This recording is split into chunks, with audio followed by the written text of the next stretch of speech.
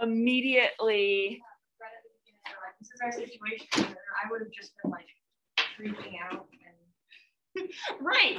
I know. My immediate reaction would be to curl up into a corner and cry because my parents weren't there including now at 36 years old you know? Like and maybe the fact that they are younger um, actually helps them to sort of just brush off the situation and adapt to it so quickly. I'm not sure.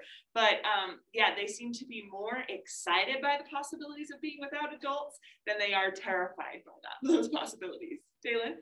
Um, I noticed that um, it really on the video you showed us because they had elected a leader and then things went wrong and met with each other uh-huh. to fix their disaster you know? Right. So I I I thought that would be interesting Right. Watching the video because then it starts to feel like okay is this just like naturally what we are inclined to do as a species um, or is this something that we've been kind of conditioned to do by our society and so we all just like agreed to kind of do it but mm-hmm. in the video it works very similarly doesn't it and we're going to watch more of that here in a minute but it's like um, the first thing they do is they walk into the house and you remember there's a big bouncy ball there and just kick the bouncy ball into the wall. Like the first thing they want to do is just like get in touch with sort of like their most base needs and desires as little boys to just destroy things, right?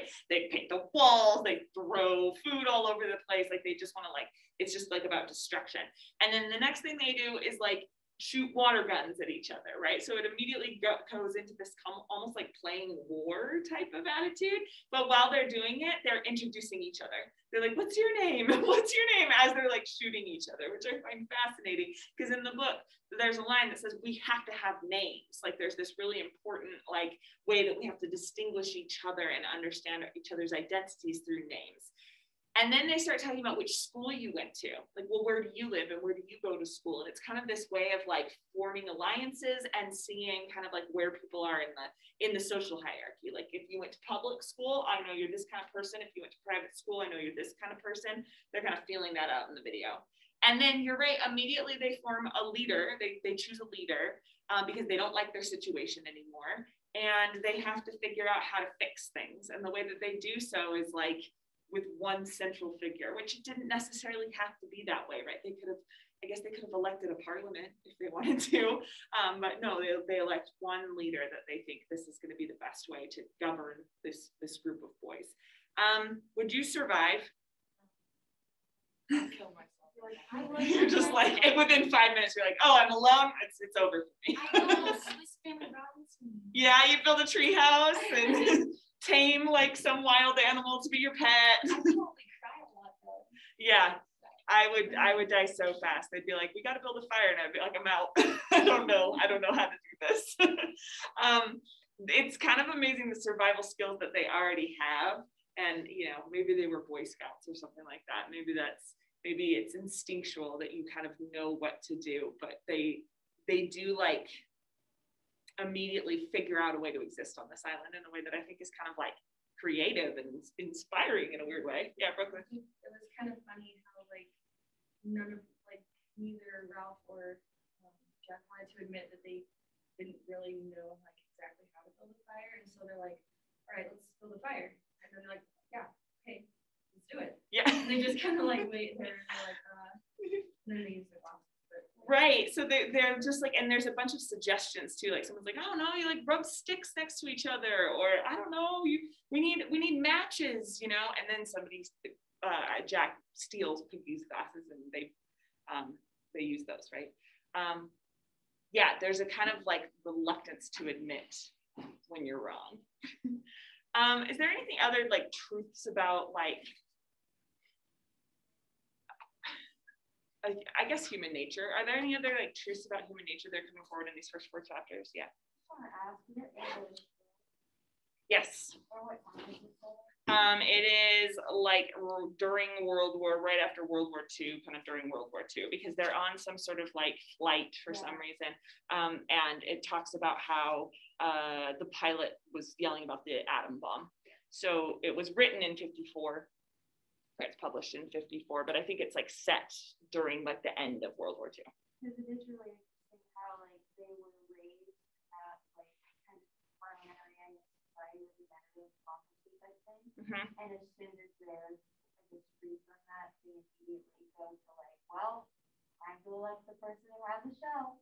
Like I just think right. Kind of Right, but I wonder if also it's uh, the system of like electing somebody who has the kind of like symbol of control in their hand. Yeah, that's the thing. with If that is prevalent. And they, it even says in the book, like, um, Ralph isn't like the natural leader, like he doesn't really actually make sense maybe the leader Jack should be. Mhm. But they said that there's a stillness about him that he just has a show.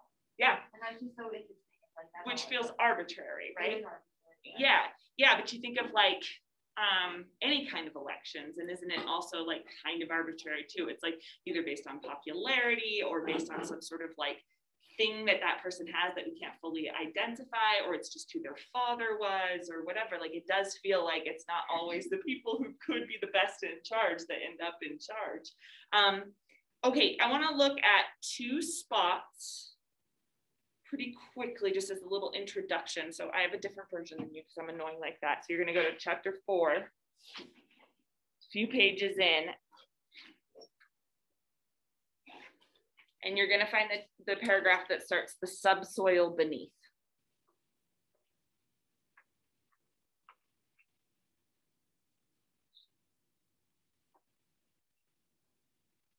What page is it on when you get there? 62? Oh, it's the same for me. Maybe we have the same pages. Okay, so it says the subsoil beneath. Okay, look at the bottom of that where it says here, invisible yet strong. So they've been throwing, they're trying to throw rocks. Actually, let's just read the whole paragraph.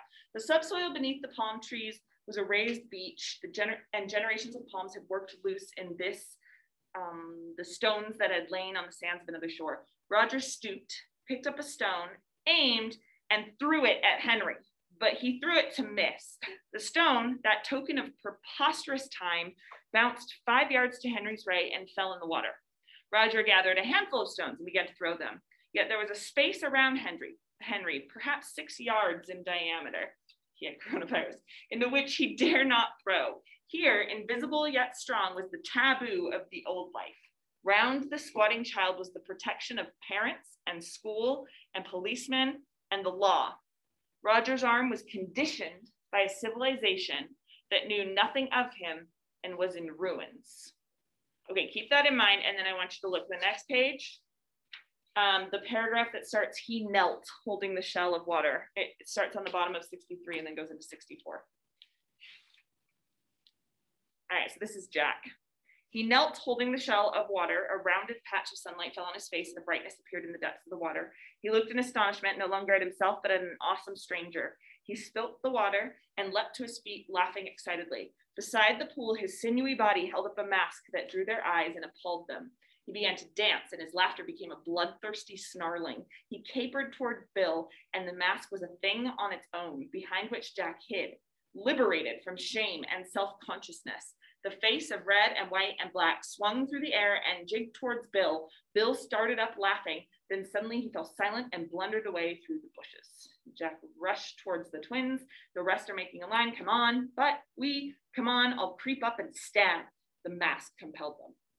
So you have like two things here that is kind of talking about masking and talking about like um, this idea of civilization training someone in a certain way. And then you have this idea of the mask and that the mask allows him to behave kind of like atrociously. So the question that I have here that I think is becomes a central question. I mean, it's the age-old question that you've heard about in many classes, but I think it becomes a very central question to this, this story. Uh, let think of how to word it. Is um, how much of violence and you can even think of like destruction or even like antisocial behavior.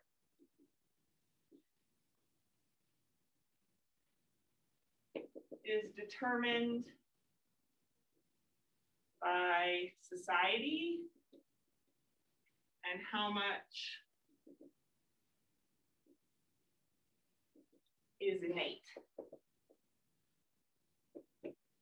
So the question I'm asking is like, are these boys, do these boys sort of like resort to this violence where they're like, kill the pig, slit its throat? Is that, does that come from the way that they were raised in this World War II society where they are used to seeing war, where they are used to hearing things like the atom bomb, where militaristic presence is like everywhere, right? Does that come from that part of their lives? Or does it come from something like very innate within us that we are just like naturally violent, kind of bloodthirsty beings, and society has decided that we shouldn't be that way anymore. So there's this kind of like veneer over or like controlling sort of like barrier over us to keep us from acting out that way. So based on these two quotes that I that I showed you here, what, what do you think about the answer to that question so far according to this book? Yeah, I feel like it's more of the second one you said, um, but Yeah. the having living like living in a the time that they do live in, I feel like their actions with um wanting to hunt and stuff Mhm. are influenced by the things they've heard from Yeah. the war, but Yeah. I don't think that's what led them to, to want. Okay, so they're kind of like copying things they've seen and heard in the war, but there's a deep, more innate sort of part of them that is causing them to want to act that way. Yeah, I feel like it's it's more of like in a way they kind of want to do something they can't do on like the mainland, I guess. Uh-huh. Yeah, Because there aren't any. No one's gonna be yeah, there's no restrictions, and so they're going to play out all their fantasies. yeah, Brooklyn. I think, um, along with what Dylan was saying, it's a lot of the second one because like it, um, it describes like a lot of like their old life and their traditions and, um, like so- societal values as like, um, it- the taboo of the old life and just like kind of, um, when they're acting out, the book at least describes, um, that they find it really freeing. Mhm. So it kind of suggests that like they haven't been able to really do that before. Yeah, So like, yeah. So since they haven't been able to do that before, and now they can, we're going to assume that this is them kind of like removing all taboos from their life, um, any restrictions that they had, and they get to experience a kind of freedom then. Okay, let's just ask this like really from your gut, not from the book. Do you feel like that is a true way of looking at human beings? Do you think that if we got rid of all government and all parental authority and whatever, um, that we would behave in violent, sadistic, mean ways towards each other? You're saying yes? Yeah. Yeah. yeah. I think it's kind of looking self-preservation. Mm. I think that violence is motivated by like the pursuit of power. Because if you think about it, like it's kind of irrational to think that humans are so disorganized and inherently violent that like we'll just snap at any minute when given the opportunity to. Yeah. Because then that doesn't really explain how we've been able to collaborate and build together society for Yeah. years, years, and years. Yeah. In my opinion, and I feel like this is kind of evidence in the book, as soon as labels of power are thrown in, and as soon as, you know, uh, I guess inequalities are thrown in, where, like, for example, um, you know, Piggy is kind of low pressure them, and, you know, as soon as those kind of inequalities happen, I think that's when violence starts.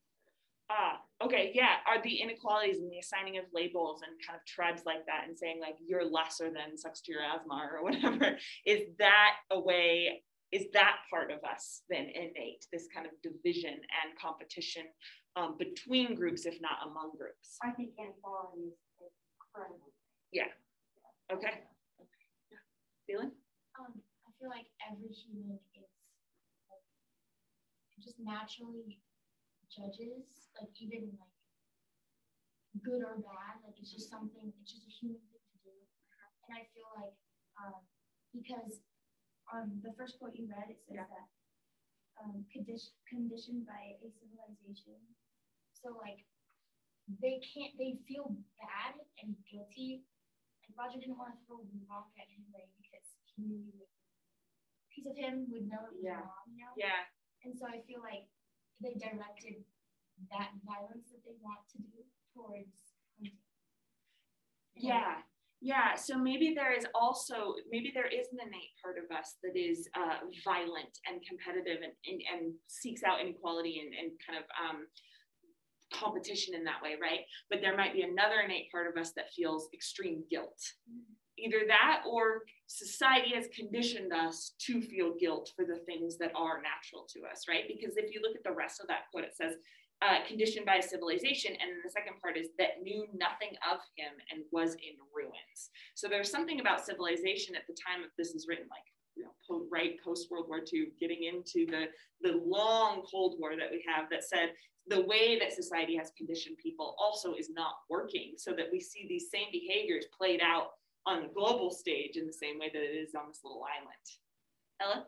Um, I feel like with the um humans have innate thing to point out be like, yo, um, this person's gonna be in charge because we crave like that kind of thing. Mm-hmm. But that's what leads to violence and political things. Because like what I think of mainly is the French Revolution, where they had one like these mon- the monarchs being super powerful, Yeah. and being the only ones like who had the power and being Yeah. rich, and then everyone else was kind of screwed over. So this is kind of Ella's point too. The Ellas are the anarchists in the classroom, it turns out. yeah, there you go. Um, because if that's the anarchist position, right? It's not like get rid of government and everybody do what they want. The idea is get rid of government and the people will finally like treat each other with respect Yeah. because you haven't introduced this language of Yeah, power. especially if you get like rid of money, because without Mm. money, there's no competition to be better than other people, or like Yeah. the people who don't have as much money don't feel the need to hurt others for that money. It becomes Star Trek. All right, Kylie. Yeah.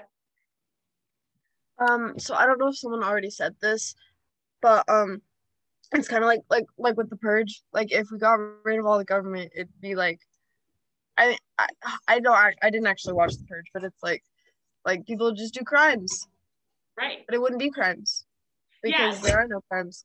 Right, exactly. So the purge definitely Yeah. The Lord of the Flies kind of position that we've we've said Lord of the Flies has so far, which is like if you get rid of those rules, people will act on those rules. People are basically sociopaths underneath the rules of society, and they will get. But the nice thing about the purge is they get that all out of their system, and then society functions really, really well. Yeah, if you just make it through like you know maybe Make it through the night. crime, Mhm. and then if like we're going with the get rid of government, there might be like a week of crime, and Yeah. people are like, oh, there's no point. Yeah so there's a, a kind of uh, catharsis in the purge that uh, makes that. I just wish those movies were better. It drives me crazy that they aren't better because the idea is so brilliant and the movies are so bad. But um, like if you were to watch them just for the ideas they're fascinating because that feels so true to like be able to purge all your emotions. Brooklyn and Dalen along with like purging like your emotions, I think um, most societies like allow for like um, they acknowledge that like people have like these innate like aggressions and things that they need to just like um, take out um, and they provide like outlets like sometimes they're like sports or like competitions and stuff Mhm. um, and like even like political things like Yeah. that kind of satisfy like that um like aggression and like power yeah um but when you take that away like people um like I think the book is kind of arguing that people will without like that um structure they'll try and find their own they still have to find their own like outlet to get out those emotions Yeah, it's like they broke down the clear distinction between the outlet and the actual running of society. Mhm. And so the hunting becomes the way of life rather than just the period of time when you go and hunt. I think we see that as soon as Jack punches Piggy, especially how that kind of the violence kind of bleeds over into the everyday life then. But I think you're right. We have these very strict ways of um, sort of delineating when you can act out and when you have to behave. Like right now, you must behave in this setting in order for things to work. Um, and if, when those things start to break down, when those barriers start to break down, it's real trouble for society and the way it works. And you think of that happening in World War II as well. Ella and then Dalen, right? I don't remember. Actually, I think else, but I was just gonna say, that sentiment does kind of prove that anarchist like standpoint. Mm. That like technically in here, there's nothing stopping me or anyone else from just like getting up and leaving or like Right. something. Or hitting Jaden. Or yeah, like I could like that Uh-huh. right now. Yeah. And the thing nothing stopping me from doing that. Like there's no security in here. right. But it's like there's this mutual understanding with unwritten law that like in order for services to be exchanged where um you, you get paid for being a teacher and I Uh-huh. get educated, you know, because you're a teacher, like there's a certain decorum that we have to maintain. Yeah. And I think it's really And you have all just bought into that, right? And I've bought into that too. But you have all decided that you will behave so that it kind of like upholds my power in the classroom. That's exactly what we're going to be talking about for the, for the rest of class. So we'll get back to that. Dalen? Um, I was gonna add on to what Nick was saying. Um, like when we're when we're little, we're taught right from wrong, and that if you do this, then you're gonna be punished. And so I feel like, in a way, um, like even today, the idea of being punished for doing something mm-hmm. is what's keeping people from doing what they feel that they mm-hmm. want to do. Yeah, that's a real behaviorist type position. That's what it's called in psychology, behaviorism. It means that we've been conditioned to do things in the correct way through a system of punishments and rewards, right? And so, like, you know, we went potty in the toilet and we got a candy. And every time we went potty in the toilet, we got a candy so that then we knew if you don't go potty in the toilet, mom is mad and that's a punishment. But if you do, you get a candy. So this is the good way to behave. But if we had never had that, we would have been perfectly fine going potty in our pants. I like that I'm saying potty um, for the rest of for, for the rest of our lives type idea. I mean, there's the physical comfort in there too, though. Maybe we would learn like I don't actually like this sensation. Um, Ali Rose, yeah, and then we'll we're gonna move. Oh, and Ella, and then we'll move on. Yeah. Do you think that people would do, like, if, if things were still morally wrong? Yeah. But, like, if we did have a true court situation, do you think people would? do That's kind of what we've been talking about. Like it, Angelina and Dalen were like, yeah, that people are monsters, right? and our Ellas are saying like no because it's the it's the unequal power structures that creates the monstrosity of it people. Mm-hmm. I don't know. I I am not going to answer the question because I don't know the answer. I have no idea what I think. I think I'm with the anarchists, but I'm not totally sure. Uh, I might be, but I'm also very compelled by we're going to read some Freud, and Freud has a kind of idea about how we are all deeply unhappy because we can't act out on our on our craziness. Um, so or I guess it'd be the opposite of craziness because it's like actually who we are. Um, anyway, so I don't really know. I've read too much to have an answer. all right, Ella, and then Angelina. Um, Yeah. so with the whole punishment thing, Yeah. the idea that the only reason that we act good is because the conditioning is wrong in a way to me. Mhm. Because well, in naturally you know after a while like you can't pee yourself. Ah. Um, but also it's a thing to say like, oh yeah, we don't have crime because of like people getting punished. But then you read crime and punishment, and this guy knew that if he murdered this person, he could get extremely punished, but he didn't care. Ah. So to assume that just if you have, if you don't have those punishments, people won't do things is wrong because people still do things knowing the consequences. that is also going to come into the, the thing that we are going to read about upholding power and then when power breaks down. So hang on to that thought. We're going to get back to it. Angelina? Um, I don't think. Yeah. But I think that like. Yeah. Those people might actually have to have some- Not everyone's doing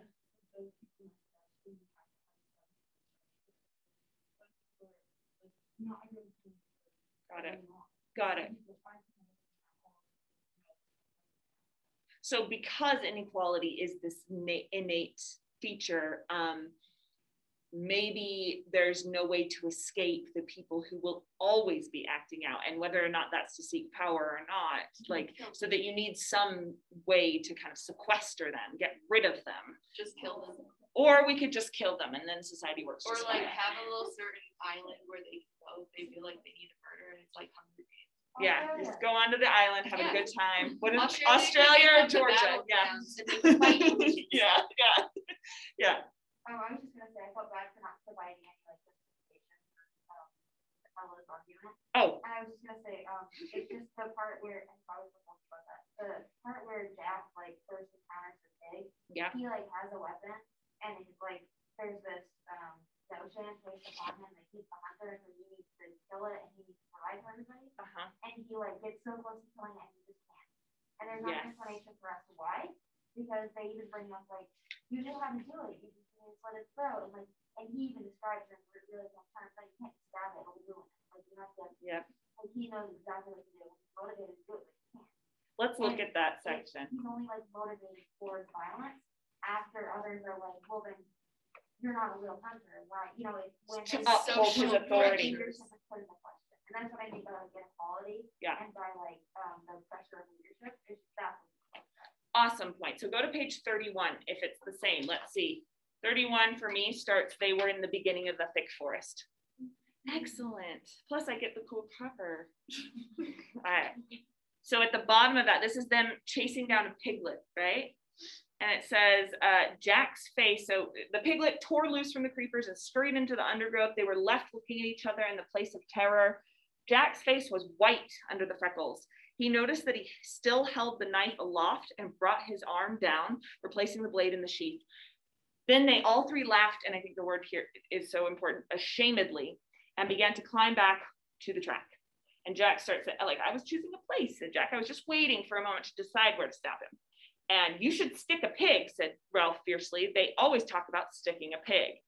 You cut a pig's throat to let the blood out, said Jack. Otherwise, you can't eat the meat. Why didn't you?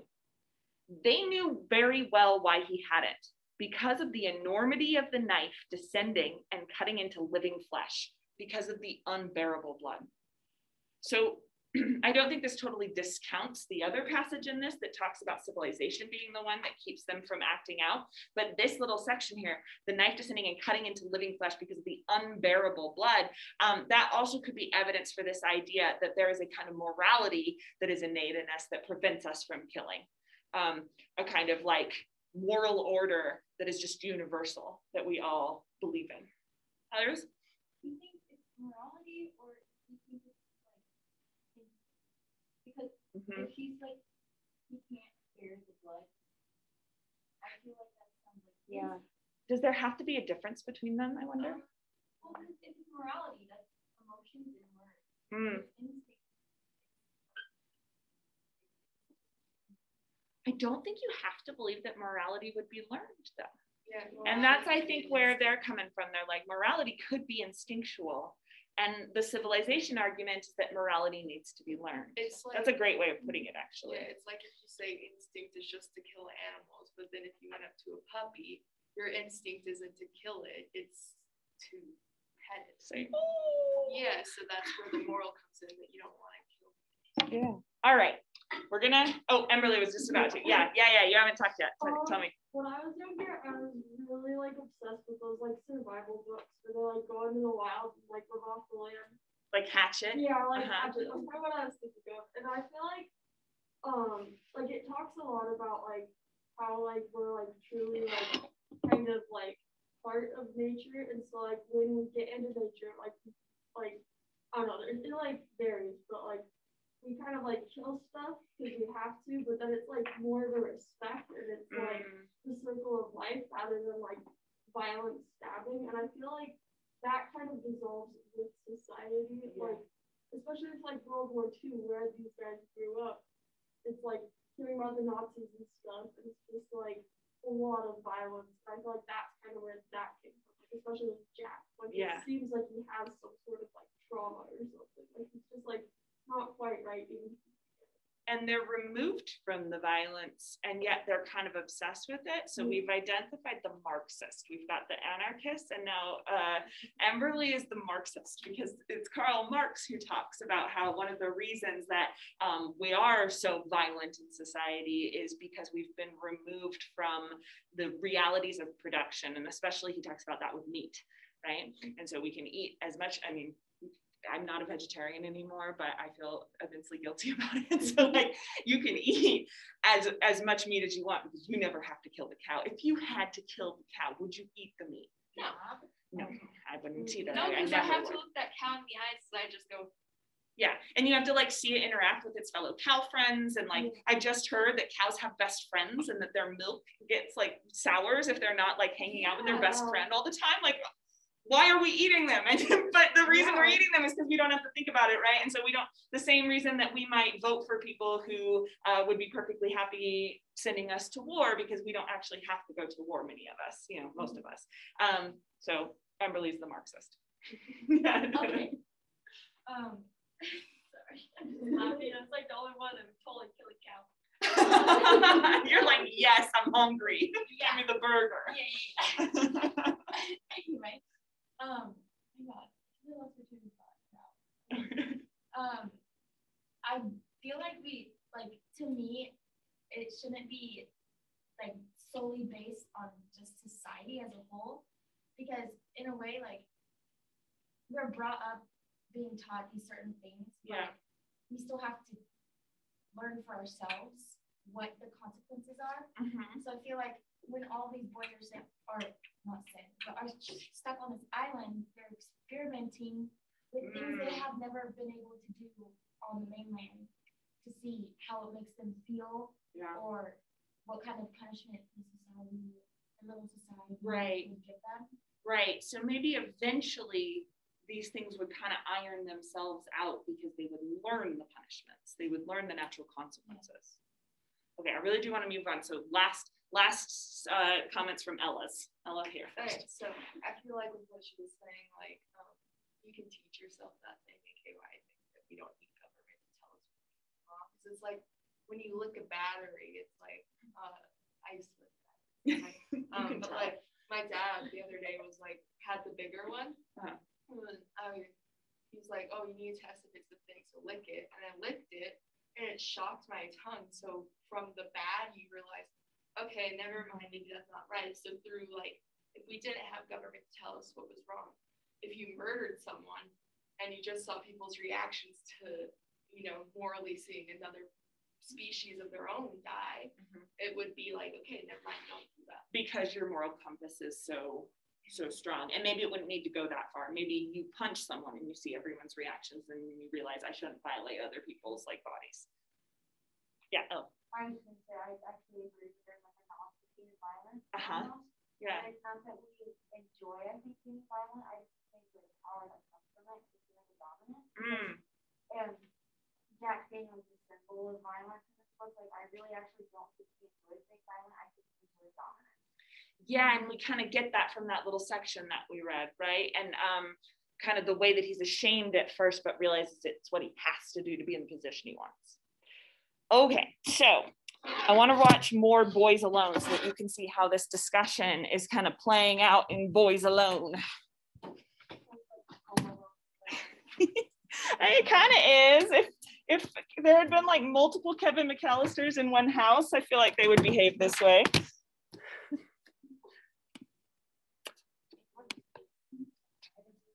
Okay, guys, so I am going to share the screen. Oops, I just opened maps on it. So you should be able to watch the video with us. We're gonna watch about 15 minutes of this.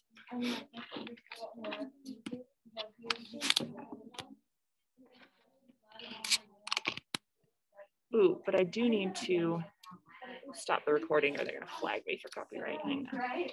Like, Oh, he was probably in one of the surgeries. Where she was doing. But Karen's one. I would have. But Yeah. like, man, but like,